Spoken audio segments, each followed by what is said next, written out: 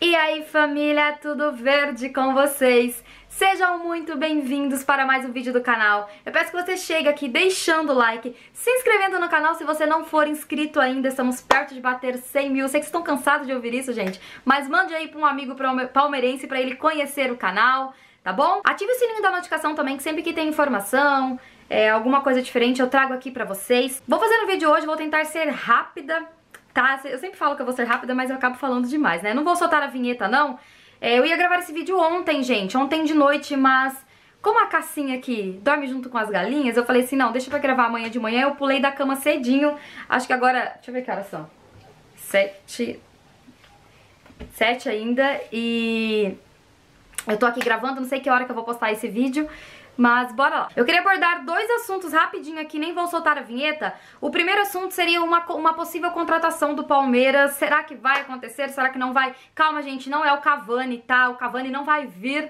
Então por isso que eu acabei nem fazendo um vídeo sobre ele. Eu já sabia que eram apenas inverdades, né? Porque infelizmente esse sonho vai ter que ser adiado, gente. O cara ganha muito. Então, infelizmente, aqui o Palmeiras não teria condição de trazer ele até por financeiro, né? Mas enfim. Então essa, esse nome que surgiu, gente, eu vou começar falando dele aí, seria o Pedro Aquino, gente. É um volante Cássia, você tá trazendo essa informação do canal do Nicola. Não, gente, não estou trazendo do canal do Nicola, tá? Eu procurei informação, uma pessoa ligada ao Palmeiras me falou o seguinte, então eu vou passar para você da seguinte forma.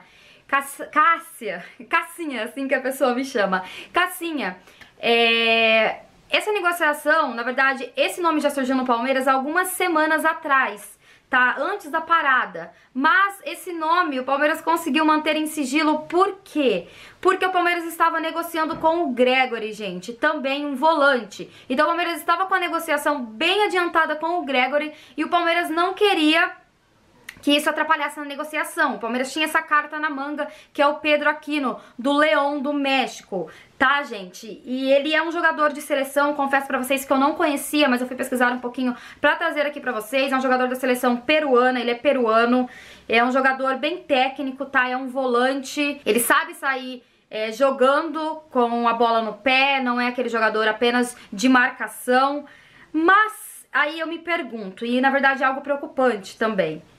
Até que ponto o Palmeiras está desesperado por volante no mercado? Porque eu já trouxe para vocês a negociação com o Gregory, que não se encerrou, o Palmeiras ainda tem a vontade de contratar o jogador e agora apareceu essa carta na manga aí também. Só que nós temos jogadores da base, gente. Nós temos o Patrick de Paula, nós temos o Gabriel Menino. O Patrick de Paula, gente, também é técnico. O Patrick de Paula também sabe sair jogando. É, inclusive, esse jogador, o Pedro Aquino, teve o aval do Lucha. Ah, mas é um bom jogador, uma oportunidade de mercado. Na verdade, ele tá valendo hoje em torno de 3,5 milhões de euros, equivalente a 20 milhões de reais. Gente, é muito para uma posição que a gente não tem é, desespero no momento, que a gente não precisa. Se a gente estivesse falando de um meia aqui, de um meia de armação, a gente poderia até falar, oh, ok. Então me preocupa, gente, porque o Palmeiras está atrás de um volante, sendo que nós acabamos de subir os meninos da base. Pra quê, Palmeiras? Pra deixar os meninos no banco? Pra passar um melzinho na boca do torcedor que pediu tanto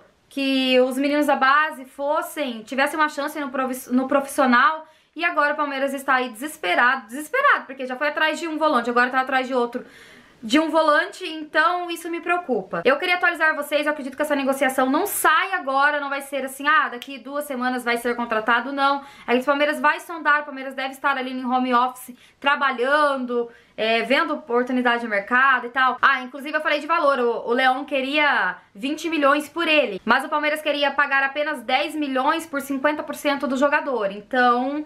É, vamos ver, gente, eu vou atualizando vocês sobre, ainda acho que o Palmeiras vai é, no caminho ali do Gregory, tá? Mas eu vou atualizando vocês aqui sobre qualquer nova informação, belezinha? Bom, queria comentar aqui com vocês também que o Palmeiras ganhou aí com a camisa mais linda, gente.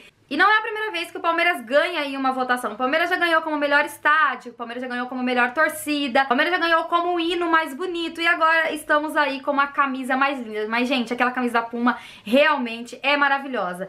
Cássia, por que, que você não usa camisa da Puma? Porque eu não tenho, gente. Ou eu já falei pra vocês, ou eu compro camisa da Puma ou eu vou pros jogos do Palmeiras, porque acaba saindo é, 250, é o preço de eu estar indo até o Allianz comprando ingresso. Então, assim, é assim, gente, é isso. A gente tem, na verdade, na vida nós temos que fazer escolhas, né? E a gente acaba optando por ir ao estádio, que é a opção que eu tenho, que eu acho melhor de estar perto do Palmeiras e usar as camisas casuais que eu tenho, as camisas mais mais baratinhas, as camisas mais antigas. Mas enfim, tudo tem o símbolo do Palmeiras, não importa se eu não estou usando uma camisa oficial agora no momento, o importante é o escudo, né, gente? É linda quem puder comprar compre. Então é isso. Eram essas duas informações que eu queria atualizar vocês. Ontem foi aniversário do Edmundo Animal. Um beijo pro Edmundo Animal aí. Obrigada por ter ficado comigo até o final desse vídeo. Espero que vocês tenham entendido. A gente se vê aí hoje, gente. Provavelmente vai ter uma live no canal do debate. Eu vou deixar o link do debate Alviverde aqui na descrição. E também à noite, não sei exatamente que horas, eu vou postar um vídeo muito legal, muito legal, então voltem aqui pro canal tá? Vai ser um vídeo assim que eu tenho certeza que, que vai emocionar vocês, belezinha? Então, é isso, gente. Até o próximo vídeo e avante palestra!